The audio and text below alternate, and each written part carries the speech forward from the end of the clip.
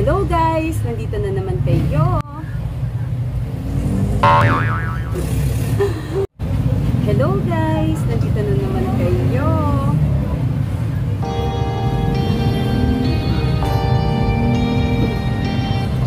Hello guys! Oh, last week, it's been a hard time for me.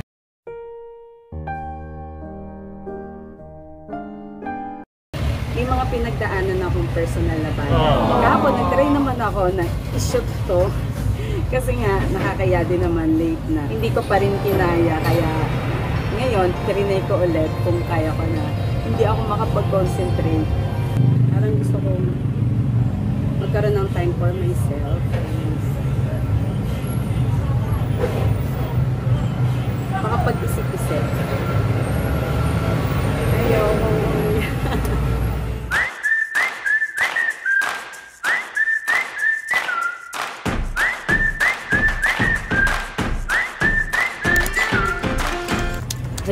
Guys! Nandito na naman kayo sa Melong TV. Ngayon, Wednesday, November 24, 11.55 a.m. I-update ko kayo sa weight loss challenge na ginagawa ko dito sa aking sari-sari store. Super late na. Every Saturday ako nag-update sa weight loss challenge na ginagawa ko dito sa aking sari-sari store.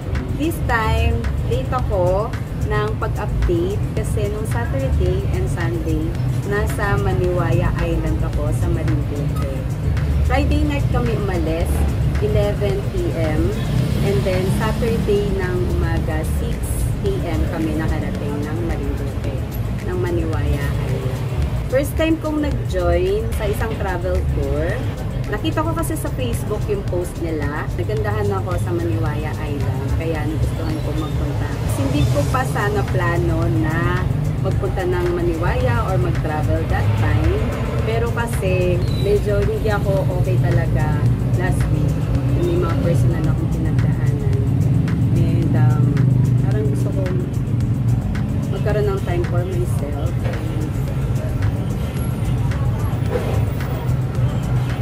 Makapag-isip-isip.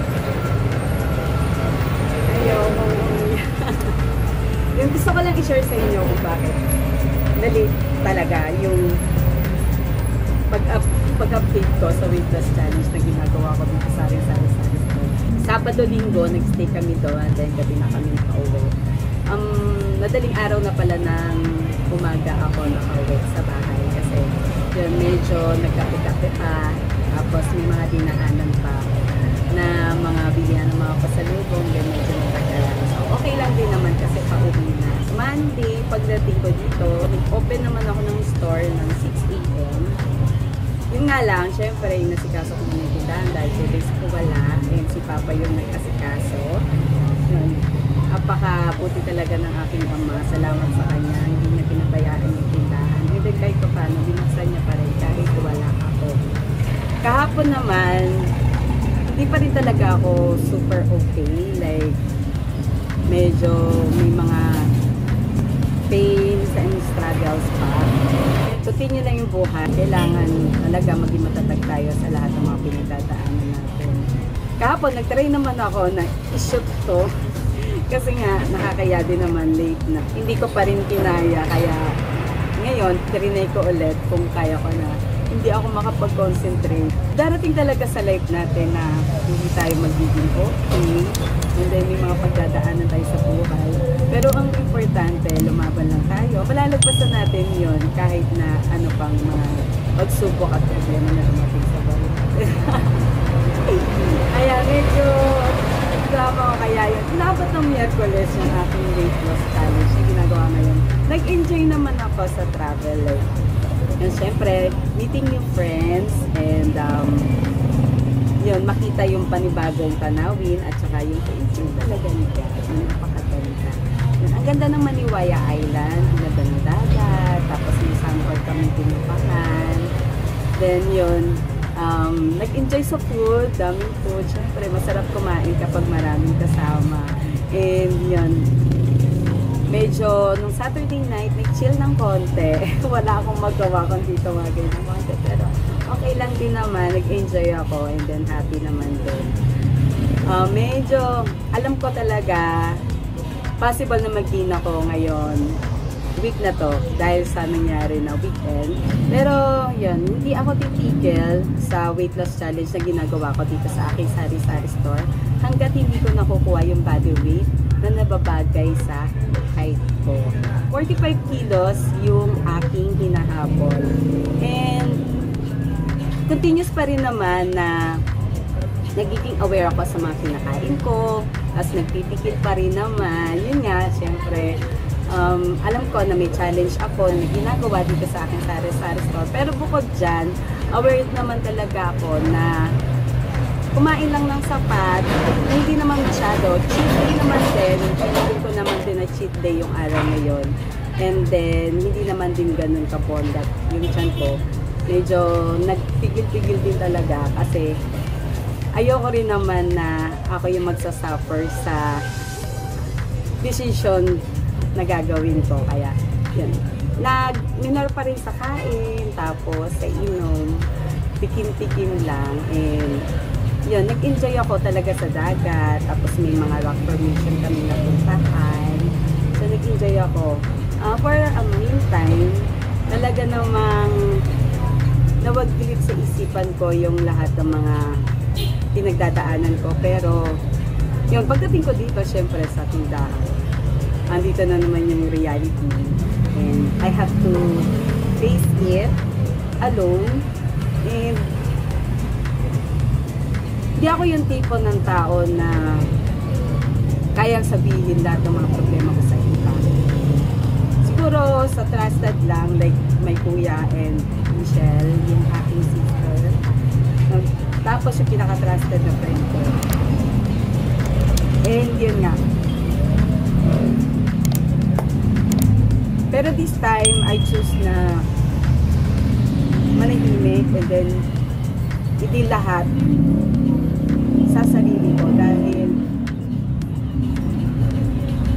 naman ito ay ginusto ko mangyari and um, I have faced it. But anyways, okay na yun. Change the topic. Buti na lang may bumili. So, alamin na natin kung ano ang timpang ko for today. Kung ready na kayo, samahan niyo ako. Tara. Ay! Kapawak natin sa kanya yung... medyo wala pa rin talaga ako sa hulog, pero yun nga.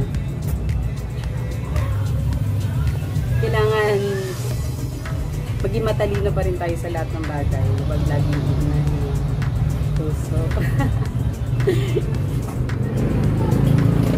Tawagin na natin si Pa! Pa! Pasuyo nga pawak ng camera. Pawak ng camera. Yung sinasabi ko sa inyo, yung collar bones pala yung tawag dito. Na kahit pa paano nakikita na sa aking katawan. So, unti-unti may nakikita naman akong development sa body ko. Although yung timbang ko medyo mabagal yung process. Pero sa body ko may nakikita naman na ako mga pagbabago. Nandito na si Papa. Tutungtong na ako.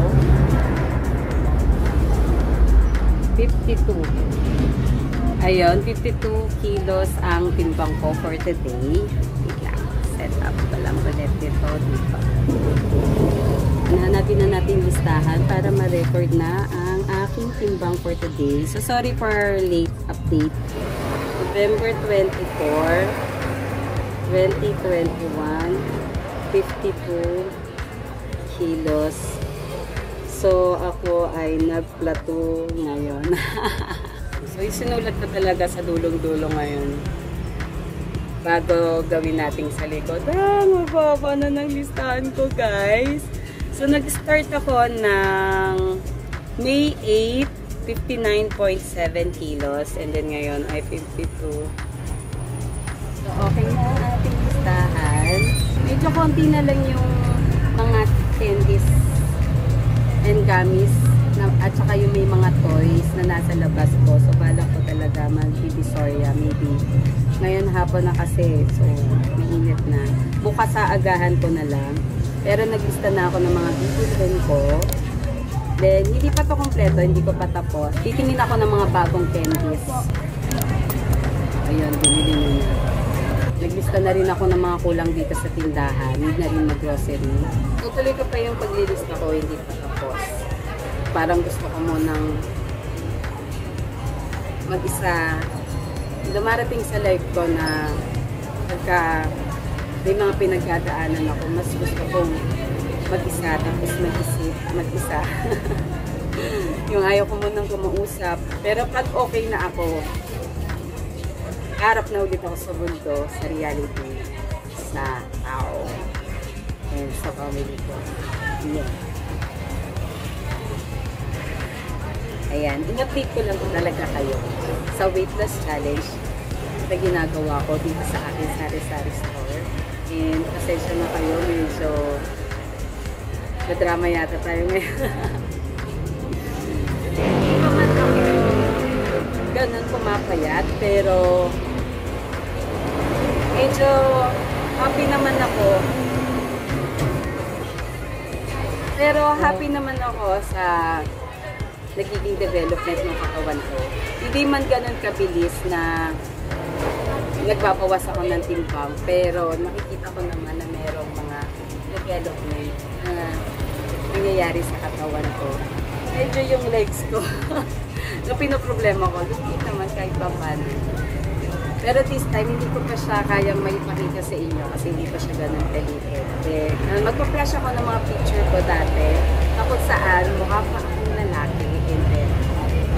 medyo tabi-tabi talaga ako noon. And yun, kahit pa paano ngayon, nakikita ko na meron na akong collarbone. And then, nakakaroon na ako ng loob na dati wala. So, yan. Dalgal ko ano. Sa ngayon, yan lang muna ang masishare ko sa inyo for today.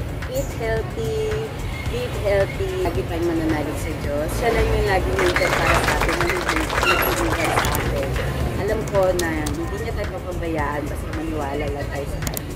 Kung nagustuhan niyo sinner ko, please like, share, ring the notification bell, comment, and subscribe to my channel para palagi kayong updated sa mga bagong videos na i-upload ko. See you so!